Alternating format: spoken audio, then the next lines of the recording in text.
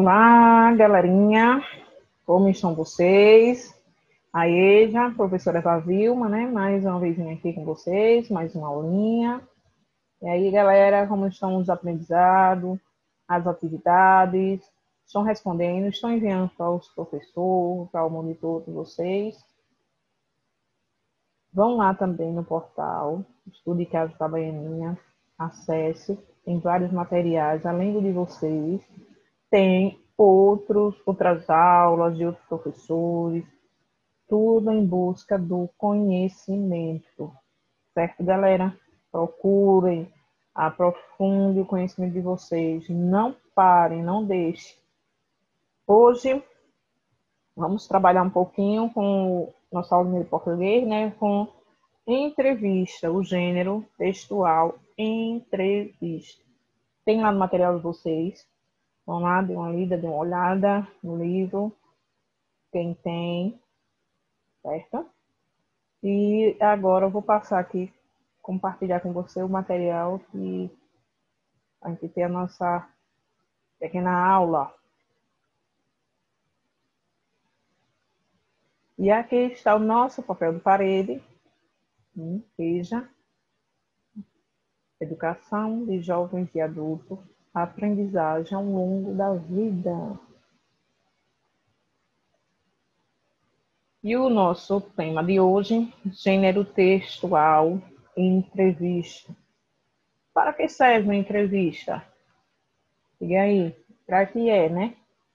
É um tipo de que? De reportagem? Não. Entrevista é uma forma uma de, de, conversa né, entre duas ou mais pessoas, onde perguntas são feitas, o entrevistador pergunta sobre aquele assunto que estão debatendo, né? pode ser na área do esporte, da saúde, da educação, mas que vá naquele rumo, naquela linha de pensamento do que está fazendo as perguntas ao entrevistado.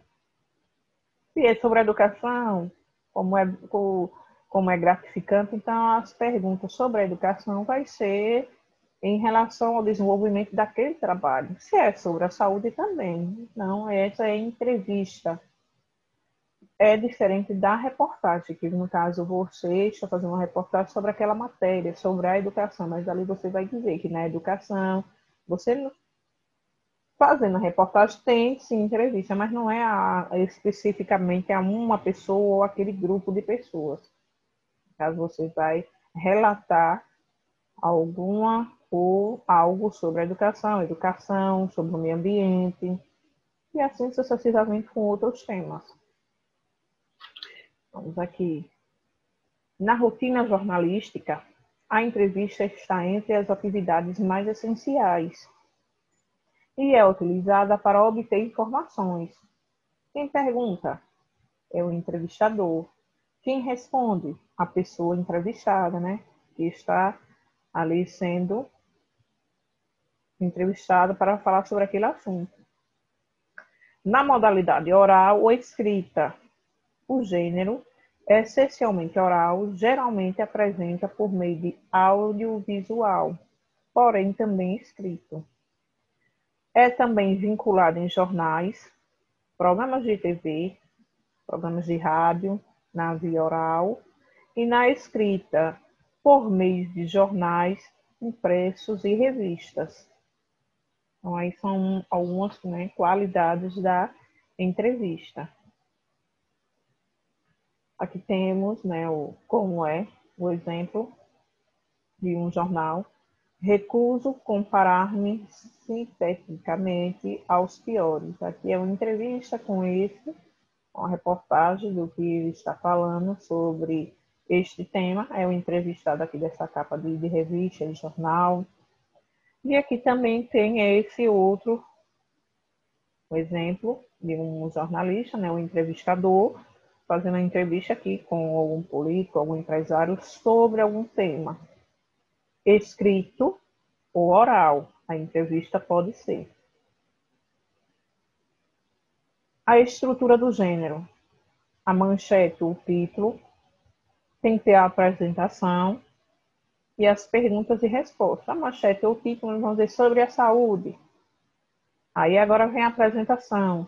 A saúde no Brasil não está 100%, precisa de melhoria. Aí agora vem as perguntas baseadas em cima dessa apresentação, em cima dessa manchete ou do título. A manchete é referente à saúde.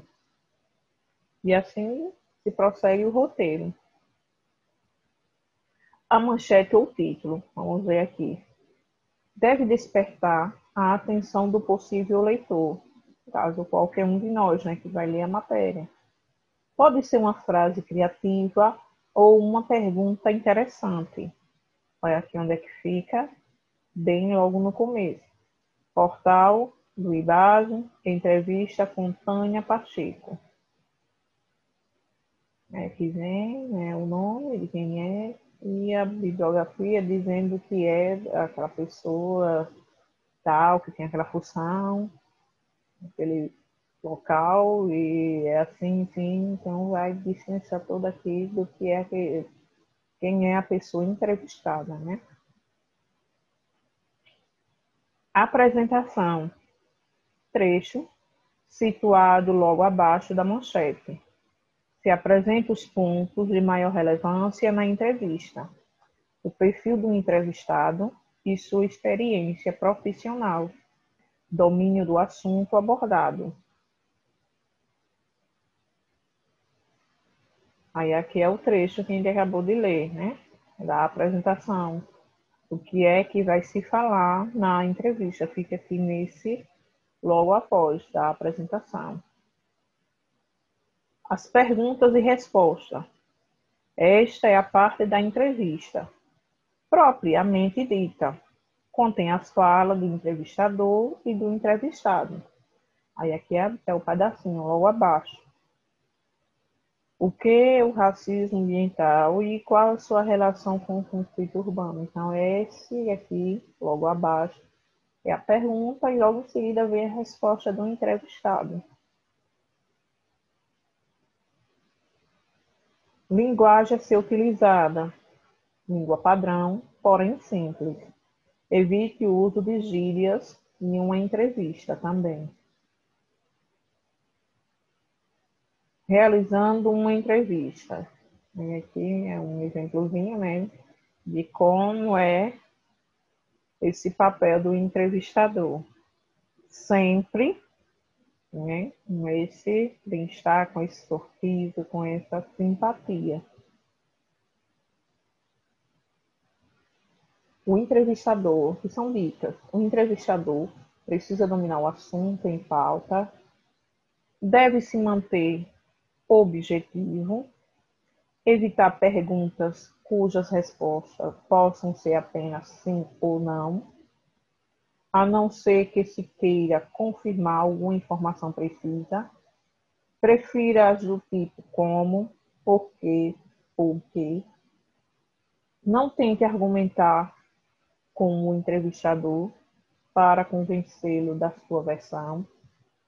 Quinto, sempre questione como você sabe. Sexta, se necessário, faça perguntas a partir das respostas. Elabore perguntas pertinentes ao tema e o objetivo da entrevista e que desperte o interesse de possíveis leitores. Aí são dicas para quem vai fazer uma entrevista de trabalho, de, do processo assim da escola, porque né, sempre passar trabalho para entrevistar, vocês entrevistar algum ou algo. Então, aí são dicas importantes de como fazer um grande né, manuseio. E agora, o nosso desafio. A chave, o momento chave. Agora você é um grande jornalista. Faça uma entrevista sobre o trabalho em seu município. Vocês são um entrevistador. Procure um artesão, alguém que trabalha no comércio, um atendente de, de loja, de banco, de, de qualquer um. Mas faça entrevista sobre o trabalho em seu município. O que é que acha? Faça perguntas, né? Como tem ali, vocês viram aqui o, o cronograma todo de dicas, certo? Envie, tire foto, envie para o professor de vocês. E agora, a nossa mensagem da semana. A sua aprovação começa quando você sai da sua zona de conforto. Saiam da sua zona de conforto, tenham ideias e envie para o professor tutor. Certo, galera? Aí o link da atividade ao lado.